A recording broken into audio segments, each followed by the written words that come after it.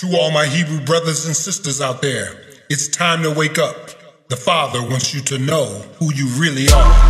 Chosen people, prophets of the Most High, Israel, the true Hebrews. 144,000 from the 12 tribes, Israel, the true Hebrews. The blessings of Jacob upon us, but we wouldn't listen, kept sinning. So stiff necked and foolish, we took for granted the law Moses was given. The four corners of the earth, we would be scattered, the prophecies written. The Messiah, he died for our sins so that we could come home through him, we're forgiven.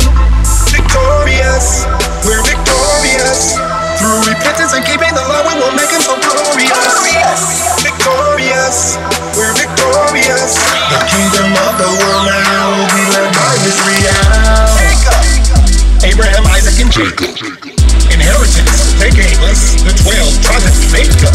Understanding comes from learning from my elders. Not from a rich reverend using the church as a tax umbrella.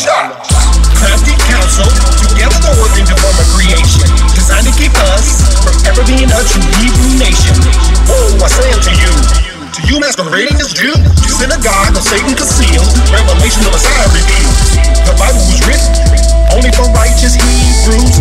them, just you. Precept upon precept, parables too. Even science says the first men were born black. Factoid, Google that. White Jesus is blasphemy, history check.